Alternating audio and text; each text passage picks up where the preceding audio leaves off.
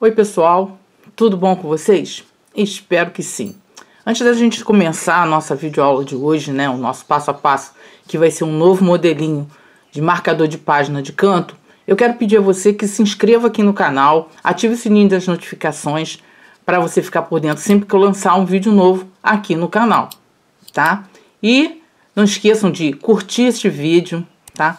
Comentar né, o que, que vocês estão achando dessa nova sugestão que eu trago para vocês e também compartilhar bastante esse vídeo, tá? Para a gente alcançar mais pessoas que gostem desse tipo de conteúdo e, logicamente, o canal vai crescendo cada vez mais.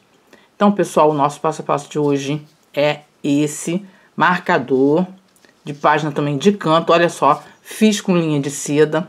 A vantagem de a gente fazer com a linha de seda é que ele já fica firme, né? A gente não precisa estar tá aplicando cola, termolina, nada. Olha só que gracinha. Coloquei essa florzinha aqui para dar um charme todo especial, não é verdade? Fiz aqui, ó, também na linha Anne, né, que é 100% algodão.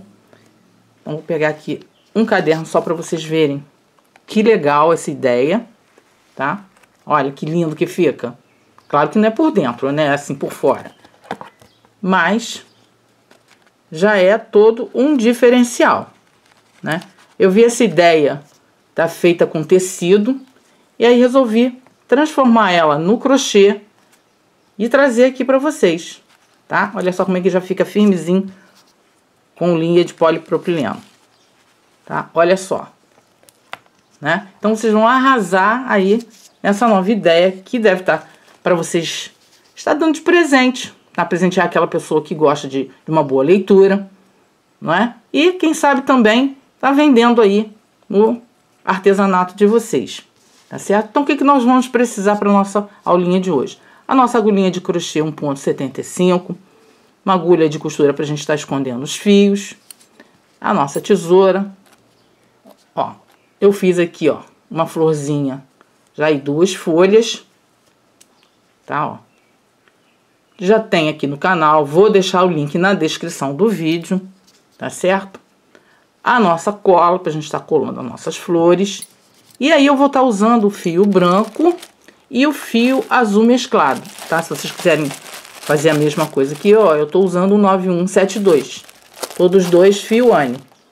Porque olha só, eu fiz aqui, tá? Em fio mesclado, né? Todo ele de uma cor só. Aqui no fio de seda também, porque eu não tenho outro para dar um outro colorido. Então, vou fazer aqui com vocês uma outra opção, tá certo? Para vocês verem que vocês podem brincar aí com o que vocês tiverem em casa, com o fio que vocês tiverem. Então, ó, já vai adiantando, já vai deixando, ó, um quadradinho, né? O square da vovó, como chamam, ó, com uma, duas, três, quatro, cinco carreiras já pronta, tá? Isso aqui todo mundo já sabe fazer, né? É super rápido, tá certo?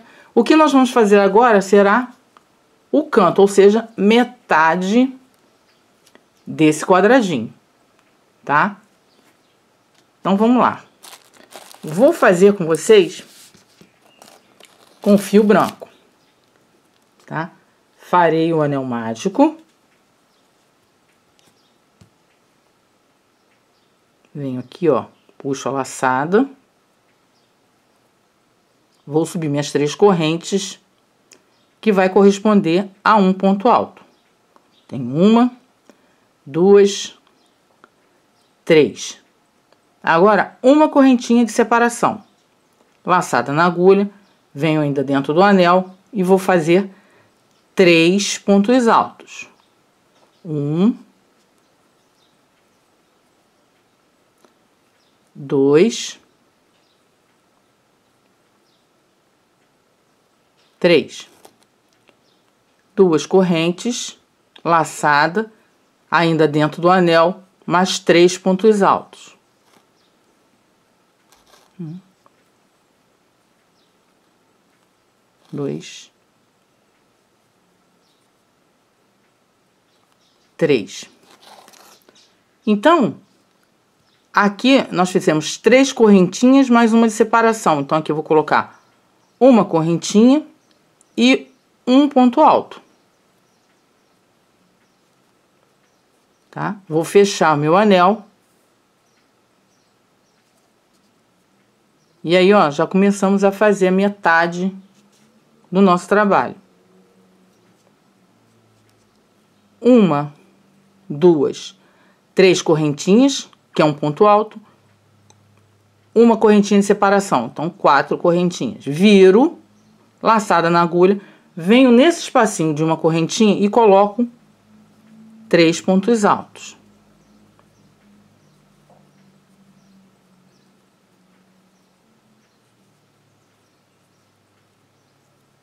Fiz aqui os três pontos altos, eu não vou fazer duas correntinhas para pular esses três bloquinhos, não. Eu vou fazer somente uma. Venho aqui no espacinho de duas correntes e vou fazer três pontos altos. Um, dois, três. Duas correntinhas, laçada, volto ainda dentro desse espacinho de duas correntes, torno a colocar mais três pontos altos. Então, nós temos leque sobre leque. Tá, ó. Ficando dessa forma. Uma correntinha de separação, que é o que nós fizemos desse lado, laçada, venho aqui, vou colocar os meus três pontos altos. Um, dois, três pontos altos. Aí, como nós fizemos aqui, né? Três correntinhas e mais uma de separação. Chegou aqui no último bloco, uma correntinha laçada. Vou procurar a terceira corrente aqui, do ponto de base, para ficar bem, bem retinho o nosso trabalho. E coloco um ponto alto, ó. Como é que já tá ficando. Então, o passo a passo é sempre esse aqui, ó quatro correntes, três que correspondem a um ponto alto e uma de separação. Viro, vou no intervalinho e vou colocar três pontos altos.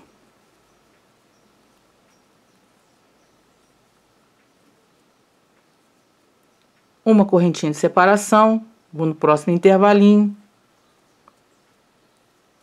três pontos altos.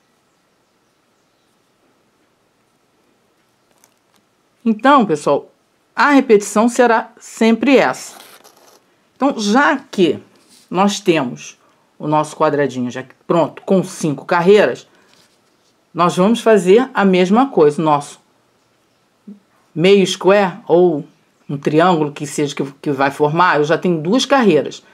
Nós vamos fazer para atingir um total de cinco carreiras para coincidir aqui na hora de emendar, né? Então, lembrando que se você fizer aqui uma carreira a mais, aqui também terá que ter uma carreira a mais, tá? Então, fiquem sempre ligadinhos nisso. Ó, vou adiantar e volto na sequência. Bom, pessoal, já pronta. Aqui, ó. Uma, duas, três, quatro, cinco carreiras. Essa só a metade do nosso trabalho. Se vocês quiserem fazer também essa, esse mesmo trabalho aqui, somente com duas partes igual a essa, também pode, tá? Como eu falei, eu vi essa ideia né, no tecido e passei ela aqui pro crochê. Então, vamos lá. Já temos aqui a nossa parte de trás pronta, né? Eu vou virar, vou deixar aqui virado pelo avesso, tá? Lembrando que eu já limpei aqui, já escondi todos os fios. E nós vamos posicionar aqui a nossa peça. Né? Se vocês forem trabalhar toda ela de uma mesma cor, tá? Não precisa cortar o fio. Tá? Mas como eu vou trabalhar aqui em duas cores, mostrar a vocês, vocês podem estar brincando né, com o trabalho. Eu vou vir aqui, ó, nessa metade e vou aqui nesse canto, ó. Vou aqui, deixa eu uma ponta de fio, faço uma laçada, que vai corresponder a um ponto baixo, venho no próximo ponto alto. E vou na peça de trás. E já pegando também essa ponta de fio, vou puxar uma laçada e vou fazer um ponto baixo. Vou no segundo ponto alto, vou no correspondente na peça de trás, vou fazer um ponto baixo.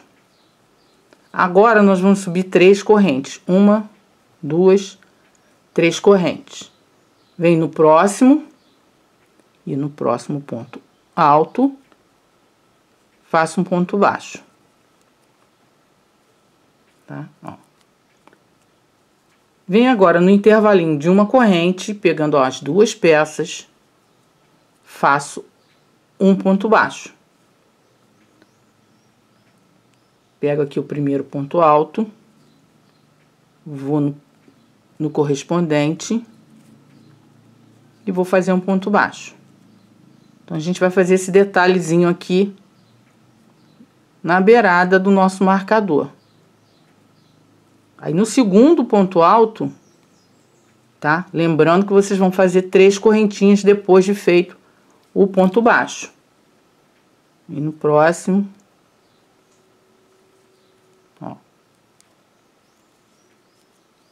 Tá certo? Vem no intervalinho um ponto baixo, no ponto alto seguinte e no correspondente um ponto baixo.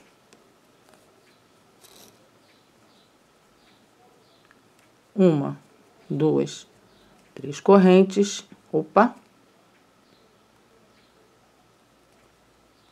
Esqueci de fazer o segundo ponto alto aqui.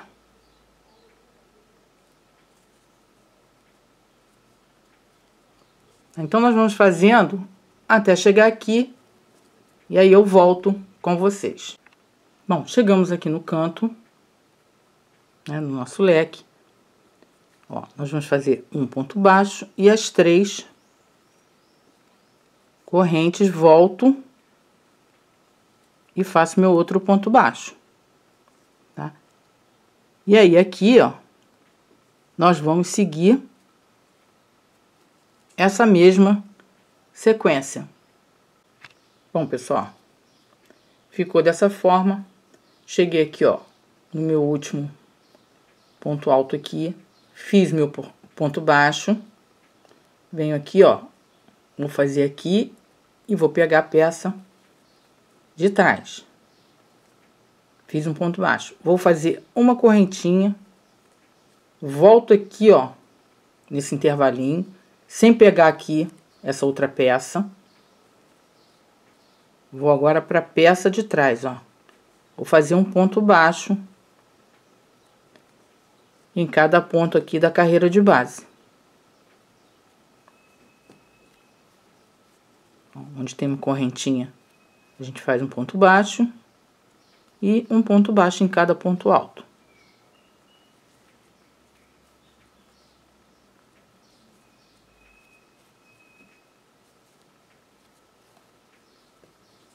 Chegando aqui, nós vamos colocar um ponto baixo, duas correntinhas, duas correntinhas, volto com outro ponto baixo aqui no mesmo lugar.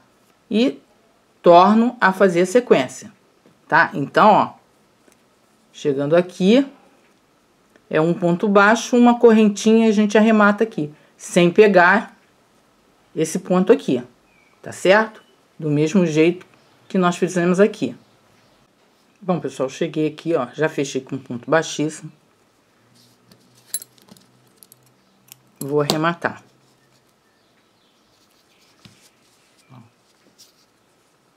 Agora, nós vamos trabalhar pontos baixos aqui, tá?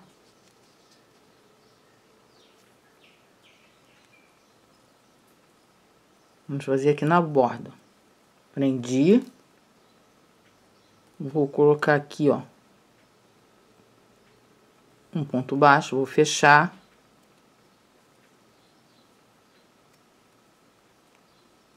E vou fazer ponto baixo aqui até cobrir. E já arrematando também, tá? Esse fio.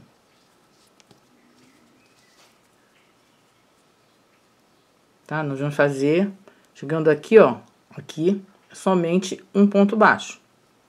E vamos fazer aqui até o final.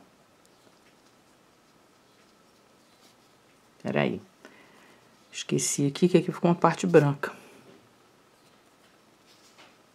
Então, a gente pega aqui bem na pontinha. E vamos colocar aqui, ó. Três pontinhos. Um, dois, três, tá? E aí, nós vamos fazendo aqui, fazendo, chegando aqui, colocando três pontos também. Aonde vocês veem que dá três pontos, vocês coloquem três. Ou se não, somente dois. Aqui, no meio, vai um só. Bom, pessoal, voltei para mostrar vocês, ó. Fiz aqui meus três pontos baixos, arrematei.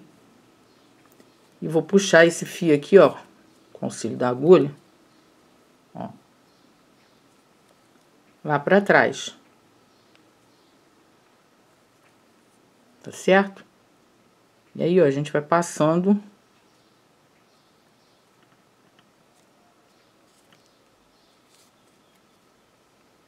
E aí a gente arremata tudo aqui, ó.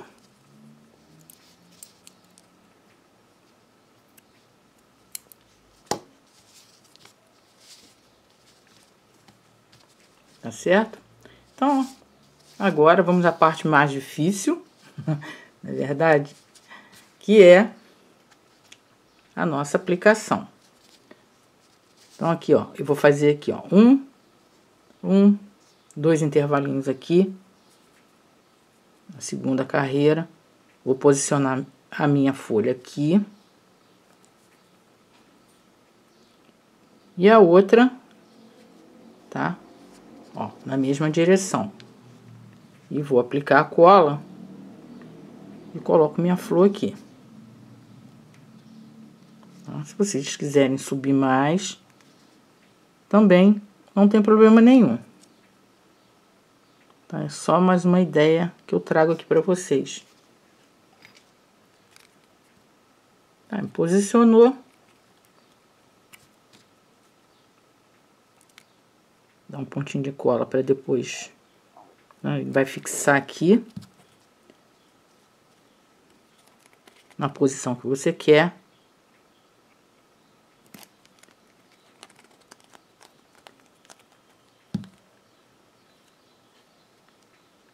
Depois a gente coloca nos outros pontos. Não esquecendo, né?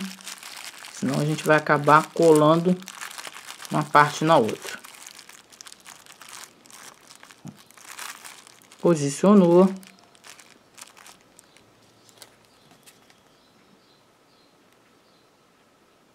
Pega a nossa flor.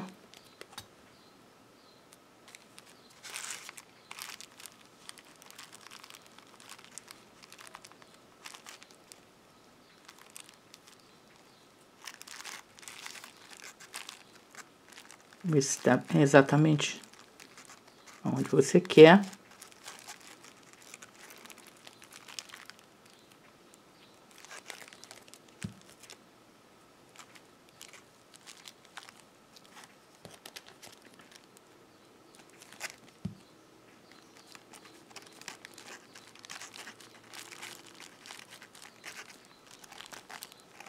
Ajeita.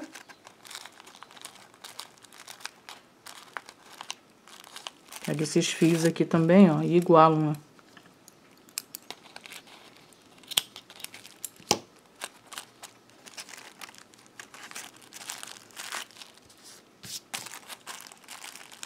Deixa eu só mostrar vocês, olha só. Que lindo que ficou o nosso marcador.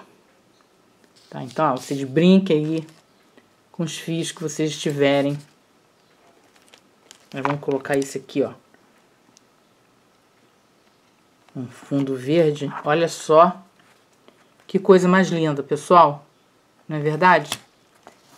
Então é isso. Eu espero realmente que vocês tenham gostado dessa nova sugestão, tá? Se gostaram, não esqueça, deixa lá o seu joinha, deixa lá nos comentários o que, que vocês acharam, tá? E compartilhem bastante esse vídeo. Beijos e até a próxima videoaula.